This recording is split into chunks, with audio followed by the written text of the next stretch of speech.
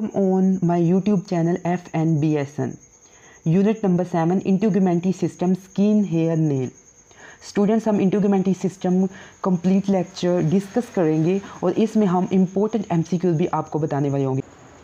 Objective discuss the structure of two layers of skin epidermis and dermis briefly discuss the structure and function of skin derivative sweat gland sebaceous gland hair and nail Question number three Discuss the following function of skin protection, regulation of body temperature, sensation, absorption, and excretion. Question number one Structure of skin. Skin is the largest organ of the body. Skin is also known as the jack of all trades. The average thickness of the skin is about 1 to 2 millimeter. The thinnest skin over eyelids penis uh, measuring about 0.5 millimeter only okay student skin जो है वो largest organ of the body है first एम है। Skin क्या है? Largest organ of the body है। Second ये है कि स्किन की जो थिकनेस है वो कितनी है? One to two millimetre remember that the thinnest students ये याद रखना है कि जो पतली स्किन होती है, वो कहाँ कहाँ पर होती है? थिनेस्ट स्किन होती है। जो आईलेट्स होते हैं, हमारे आँख के ऊपर जो शटर होता है आईलेट्स एंड पीनस पर क्या होती है? 0.5 मिलीमीटर थिनेस्ट स्किन होती है। थिकेस्ट स्किन कहाँ पर होती है? थिकेस्ट स्किन होती है sole of the foot palm of the hand and in the inner interest interscapular region interscapular interscapular region interest interscapular region क्या है? ये भी मैं आपको नेक्स्ट में दिखा देता हूँ। पिक्चर में पिक्चर मैंने दी हुई है। तो स्टूडेंट्स ये याद रखना है कि स्किन जो है वो largest organ of the body है। इसकी जो एवरेज थिकनेस है वन टू मिलीमीटर है। आईलेट्स और पीनस पर 0.5 मिलीमीटर ओनली थिनेस्ट होता है। और थिकेस्ट कहाँ पर होता है? Sole of the foot and palm of the hand and इंटरस्टेप inter interscapular region जो है वो देख लेते हैं।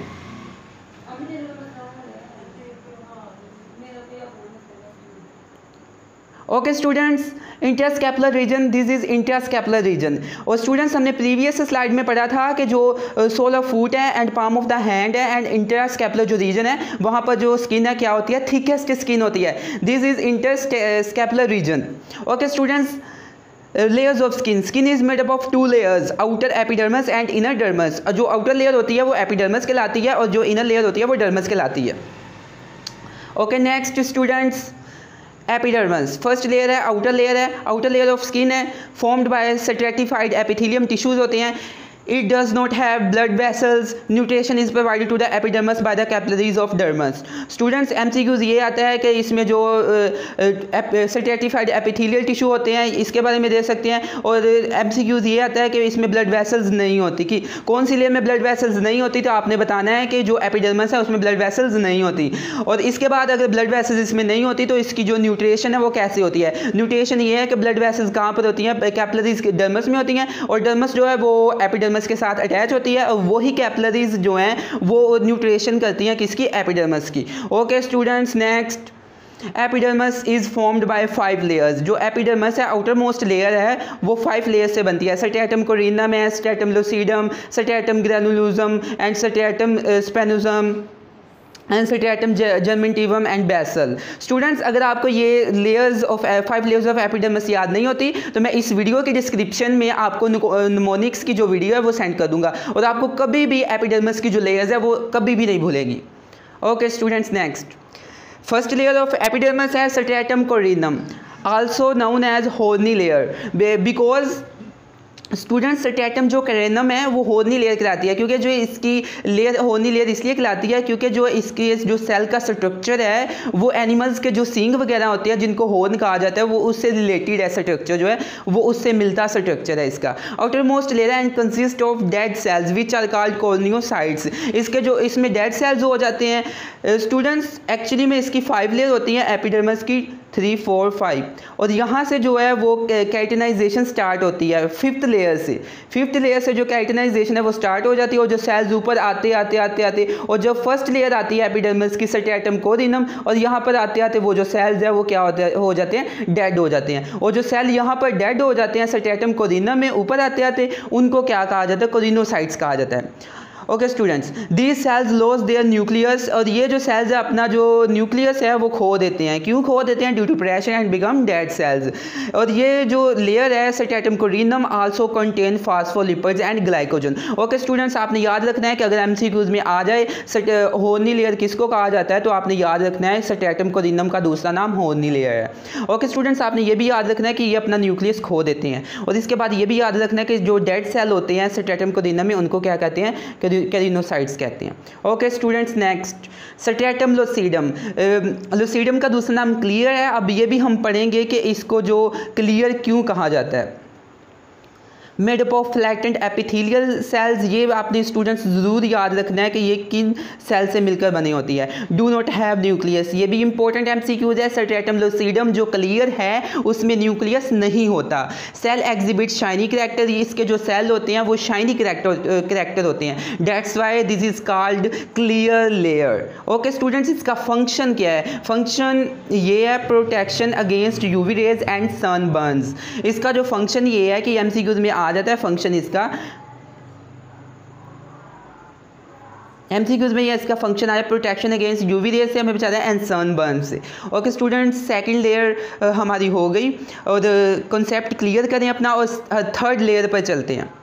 Stratum granulosum thin layer with two और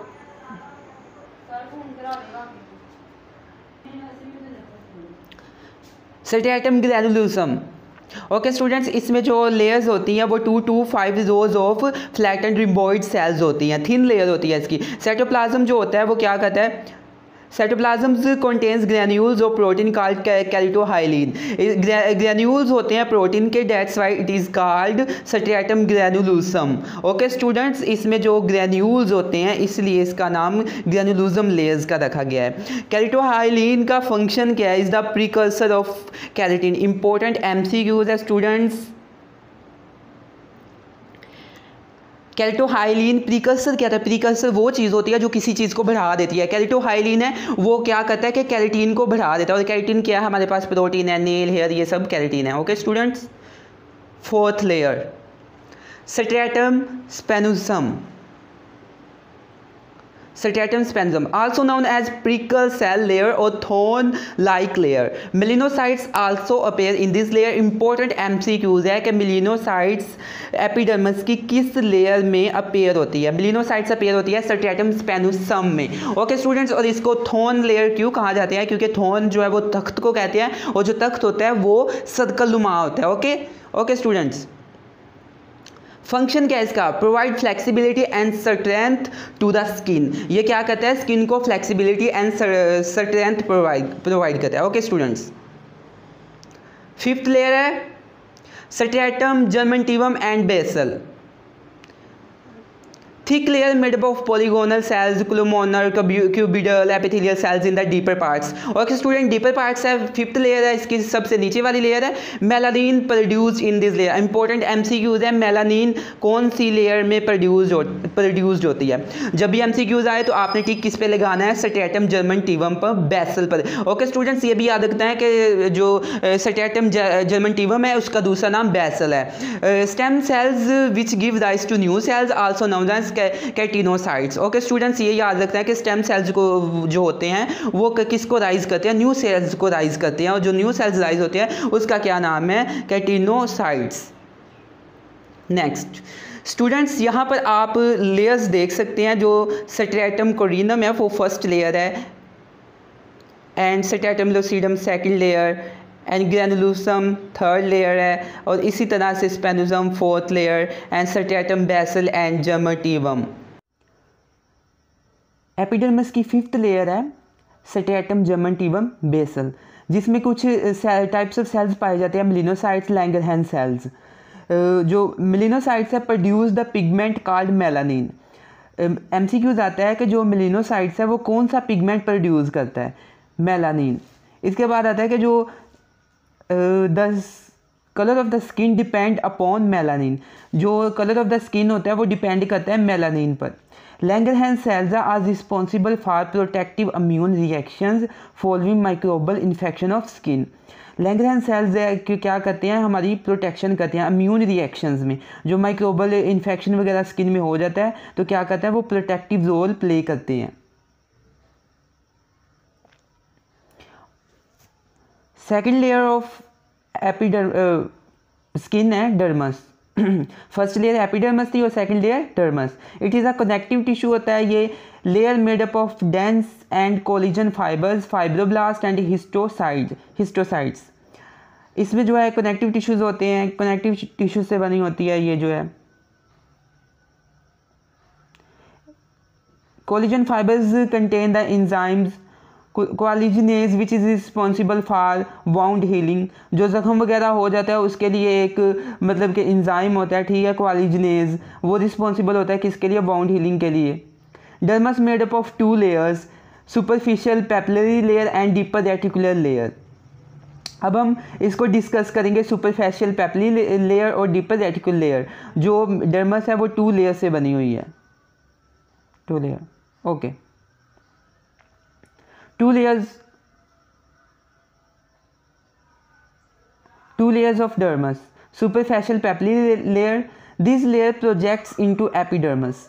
ठीक है स्टूडेंट्स जो ये एपिडर्मस की जो फिफ्थ लेयर है, ठीक है लास्ट वाली जर्मन टीवम है, ठीक है, इसके साथ जो है वो डर्मस लेयर अब आ गई है। और जो डर्मस लेयर है, इसकी जो मतलब कि लेयर है, ठीक है, ये वाली लेयर इसके साथ जो है वो प्रोजेक्ट करती है। It contains blood vessels, lymphatic and nerve fibers. These layer have pigment called chromatophores. जो superficial papillary layer है उसमें जो pigment पाया जाता है उसका क्या नाम है chromatophores. Dermal papilla are finger like projection जो डर्मल पेपिला होती है उसकी जो प्रोजेक्शन होती है वो फिंगर लाइक प्रोजेक्शन होती है सेकंड है deeper reticular layer this layer is made up of reticular and elastic fibres These fibres are found around the hair bulbs, sweat gland and sebaceous gland ये जो fibres है वो कहाँ पर पाए जाते हैं? रेटिकुलर एंड इलास्टिक जो फाइबर्स है वो कहाँ पर पाए जाते हैं? सबसे पहले उसने कहा है कि हेयर बल्ब्स हेयर बल्ब्स क्या होता है? ये हेयर है और ये जो स्ट्रक्चर है ये वाला लाइक अ बल्ब होता है और इसे हम क्या कहते हैं? हेयर बल्ब ये क्या है? हेयर बल्ब ये वाला जो स्ट्रक्चर होता है ऐसे करके.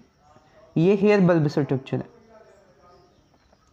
इसके बाद स्वेट ग्लैंड होते हैं सबिशियस ग्लैंड होते हैं स्वेट ग्लैंड सबिशियस ग्लैंड यहाँ यहाँ पर क्या पाया जाता है? ये फाइबर्स पाए जाते हैं। This reticular layer also contain mast cells nerve ending lymphatics epidermal appendages and fibroblast इसमें मास्ट सेल्स होते हैं नर्व एंडिंग्स होती हैं एपिडर्मल अपेंडिजीज होती हैं और फाइब्रोब्लास्ट होता है। फाइब्रोब्लास्ट होता है। It is it is serves as an insulator to protect the body from excessive heat and cold of the environment ये इंसोलेटर का काम करता है। इंसोलेटर क्या करता है कि अगर सर्दी होगी तो शिवरिंग करवा देगा, ठीक है? शिवरिंग से क्या होगी कि हीट प्रोड्यूस होगी और अगर गर्मी होगी तो वो स्वेटिंग करवा देगा। स्वेटिंग से क्या होगी कि हम कूलिंग अफेक्ट हो। स्ट्रक्चर ऑफ़ स्किन है layers of the skin epidermis के बारे में हमने पढ़ ली है। उसकी फिफ्थ लेयर फाइव जो लेयर्स थी वो भी पढ़ ली थी। डर्मस के बारे में भी हमने पढ़ लिया papillary dermis and reticular dermis और जो हाइपोडर्मस है वो ऑब्जेक्टिव में नहीं है तो इसलिए हम डिस्कस नहीं कर रहे यहाँ पर। Okay next function of sebum है, जो स्वेट ग्लैंड है वो क्या करते हैं कि वो सीबम से क्रिएट करते हैं, ठीक है? Sebum has anti bacterial and anti fungal action sebum क्या करते हैं, ये जो एंटी बैक्टीरियल अगेंस्ट बैक्टीरिया के काम करते हैं और एंटी फंगल इन्फेक्शन कोई फंगस वगैरह का वो अटैक हो जाता है बॉडी पर तो क्या करते हैं, ये एंटी जो सीबम से क्रिएट होता है, वो एंटी फंगल एक्शन होता है। Sebum keeps the skin smooth and oily sebum से क्रिएट होता है हमारी स्किन पर क्या करता है, कि स्किन को स्मूथ रखता है एंड ऑयली रखता है। Lipids of the sebum prevent heat loss from the body lipids जो होता है सीबम वो क्या करता है, कि प्रिवेंट करता है हम, हमें हीट लॉस से and heat loss of the body sebaceous glands are inactive till puberty जो स्पीशियस ग्लैंड्स होते हैं, वो क्या होते हैं? इनएक्टिव होते हैं टिल पबर्टी यानी कि पबर्टी पे आके क्या हो जाते हैं कि जब इंसान मतलब के बालक होता है तो स्पीशियस ग्लैंड तब एक्टिव हो जाते हैं। Sweat glands two types sweat gland की टू टाइप्स है eccrine gland and apocrine glands eccrine glands का हम इनका डिफरेंस देख लेते हैं इक्राइन ग्लैंड्स और ओपोक्राइन ग्लैंड्स में क्या डिफरेंस है। Open into skin eccrine glands open into skin होते हैं और apocrine glands open into hair follicles hair follicles क्या होता है? हेयर फॉलिकल्स हमारे पास एक स्ट्रक्चर होता है, ये हेयर है और ये हेयर बल्ब है और यहाँ पर ये जो है, ये जो स्ट्रक्चर है हमारे पास, ये वाला, ये ये हमारे पास हेयर फॉलिकल है, ये वाला इधर से, ये हेयर फॉलिकल है। ओके ओपोक्राइन जो ग्लैंड है वो ओपन होता है into hair follicle found throughout the whole body जो इक्राइन ग्लैंड है, ये पूरी बॉडी में पाए जाते हैं। और जो ओपोक्राइन ग्लैंड है, वो found in certain areas of the body like axilla axilla armpit है प्यूबस प्यूबिक बोन जहाँ पर होती है, वो वाला एरिया है, ठीक है एंड एदुला एदुला के बारे में बता दो अम्बलाइकस एदुला क्या है? एदुला ये होता है, ये फीमेल स्ट्रक्चर होता है, ठीक है? ये जो साउंडिंग्स बनी हुई है, ठीक है? ये जो डार्क साउंडिंग्स होती हैं, ठीक है? तो इसे हम क्या कहते हैं? एदुला कहते हैं। ये पिक्चर में दिखाया भी हुआ है। अब फ़ंक्शंस की बात कर ले इक्राइन ग्लैंड के फ़ंक्शंस क्या है? Role in regulating the body temperature जबकि apocrine gland do not play role in regulating the body temperature फ़र्क इनमें यही वाजह फ़र्क है कि जो इक्राइन ग्लैंड है, वो प्ले रोल करता है किसमें body regulating the body temperature और ये do not play any role in regulating the body temperature hair hair is a protein primarily alpha keratin filament that grows from hair follicles originate in the dermis, and extend throughout epidermis in the skin. पहले number पर ये है कि protein है primarily हमारे पास। इसके बाद ये है कि हेयर जो फॉलिकल्स हैं, वो ओरिजिनेट कहाँ से होते हैं? ओरिजिनेट होते हैं in the dermis and extend extend कहाँ से होते हैं? Throughout epidermis in the skin okay student function of hair functions क्या है हेयर के? प्रोटेक्टिंग जो हेयर है, वो स्किन की प्रोटेक्ट करता है। प्रोटेक्टिंग का रोल प्ले करता है एंड फ़िल्टर करता है। फ़िल्टर कैसे करता है? फॉर एग्जांपल हमारे नोज़ में जो हेयर वगैरह है, वो क्या करते हैं कि जो पार्टिकल्स डस्ट पार्टिकल्स आते हैं, उनको फ़िल्टर करते हैं। ताकि जो हमारे लंग्स हैं, उनको क्या मिले? कि जो एयर है, उनको मतलब कि जो क्लीन एयर मिले लंग्स को। ओके स्टूडेंट क्लीन एयर मिले। तो रेगुलेशन ऑफ़ बॉडी टेम्परेचर है इसका।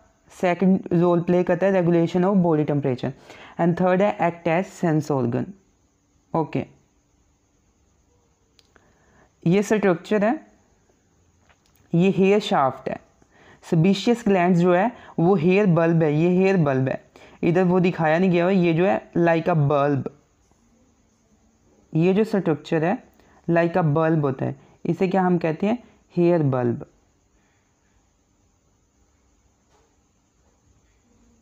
बल्ब, ठीक है? ये हेयर बल्ब है। और ये वाला जो स्ट्रक्चर होता है, इधर से ये हेयर शाफ्ट है।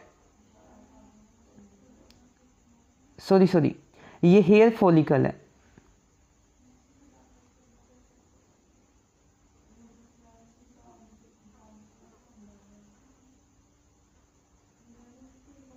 ओके स्टूडेंट्स आई होप कि आपको स्ट्रक्चर की समझ आ गई इसके बाद हम नेक्स्ट में कुछ लेयर्स हैं हेयर शाफ्ट की।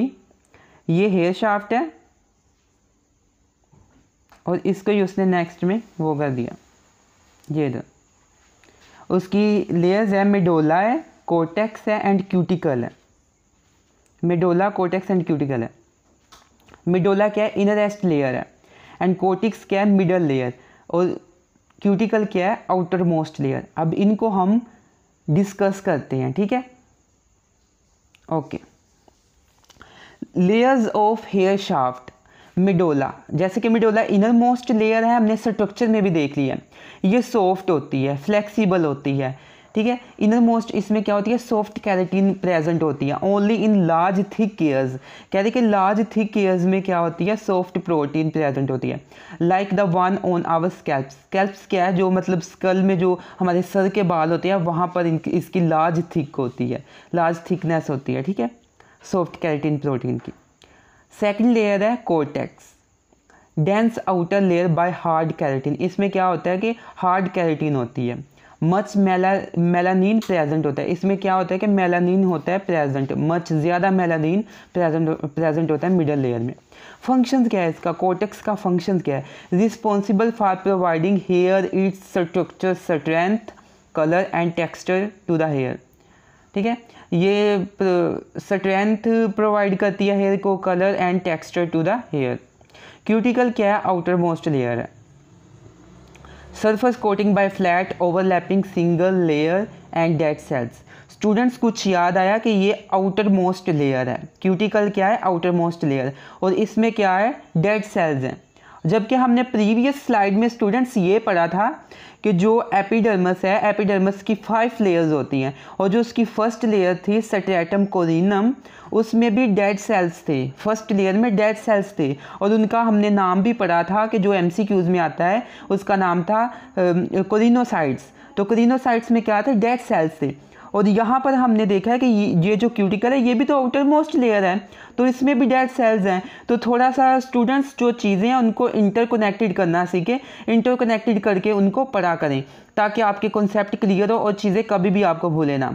और इसी तरह इसमें इनर रूट शीट होती है और outer root sheath okay next nail है। Nail nail are appendages of skin ठीक है स्टूडेंट्स जो हेयर है नेल है, ये अपेंडिजीज ऑफ़ स्किन नहीं है. Nail are derived from the same cells as epidermis कह रहे हैं कि नेल भी डिराइव्ड अखज किए गए जो सेम सेल्स होते हैं एपिडर्मस में.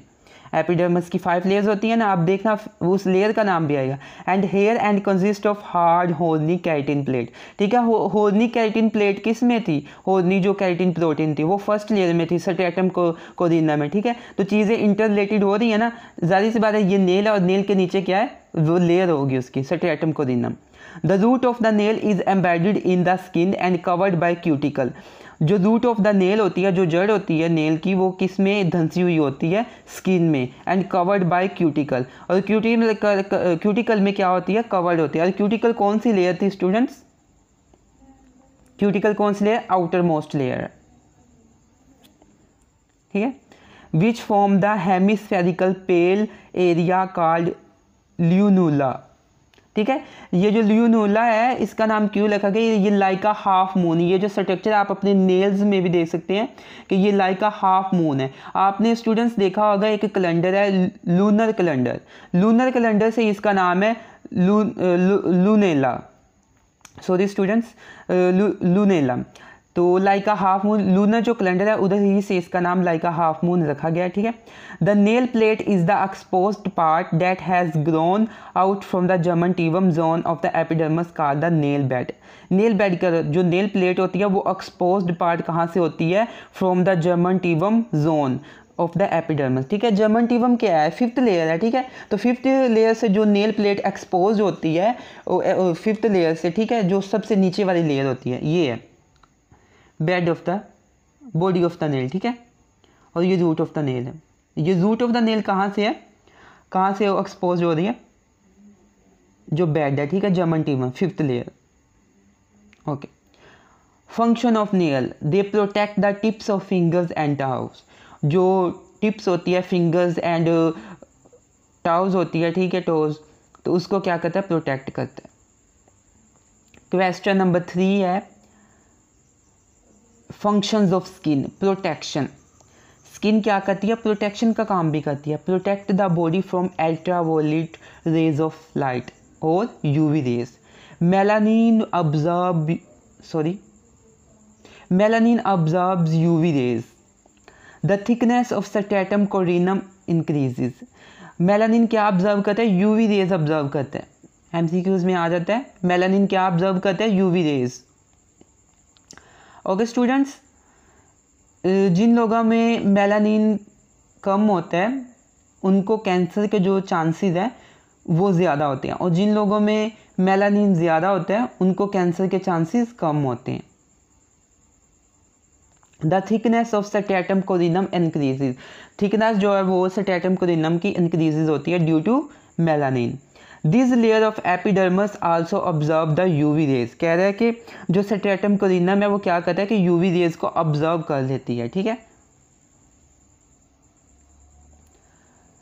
Regulation of body temperature excessive heat is lost from the body through skin by radiation conduction convection and evaporation ठीक है जो excessive heat मतलब जो ज़्यादा हीट हो जाती है बॉडी में तो वो क्या कर हो जाती है कंडक्शन के ज़रिए हो जाती है लोस्ट कन्वेक्शन के ज़रिए एवेपोरेशन के ज़रिए ठीक है जो स्वेट हमें आता है ठीक है तो पसीना आता है तो वो क्या हो जाती है वेपोराइजेशन हो जाती है हमें कूलिंग इफ़ेक्ट मिलता है उससे वेपोराइजेशन, पढ़ा था ना वेपोरेशन क्या है? कूलिंग इफ़ेक्ट काज करता है।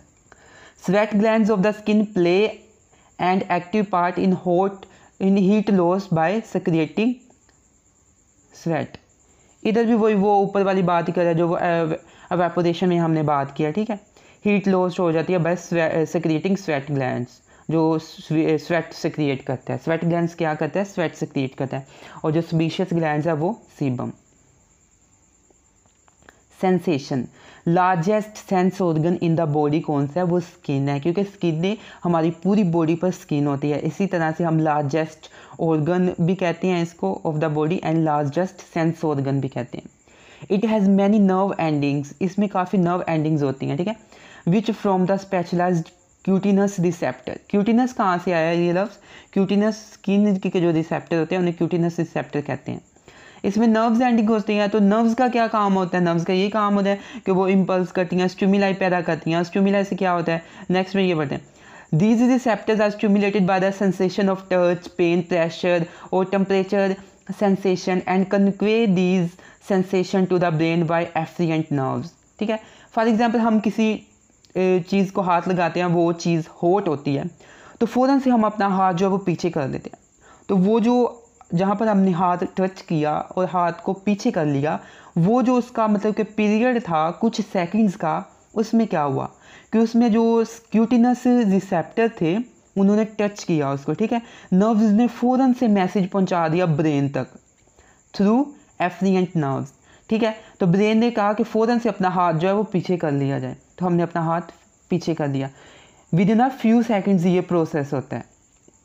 At the brain level perception of different sensation होकर ठीक है? यही बात जो ऊपर हमने कही है कि ब्रेन तक वो जो एफ्रियंट नर्व्स है, ठीक है, वो पैगाम रसाई करती हैं। परसेप्शन ऑफ़ डिफरेंट सेंसेशन होकर ठीक है? तो परसेप्शन ऑफ़ जो सेंसेस वगैरह है, वो डिफरेंट सेंसेशन होकर करती हैं। ओके अब्जॉर्प्शन अब्जॉर्ब क्या करती है skin skin absorb fat soluble substances and some ointments skin fat soluble substances को अब्जॉर्ब कर लेती है एंड सम ऑन्टीमेंट्स ऑन्टीमेंट्स क्या होते हैं? ऑन्टीमेंट्स होते हैं oily substance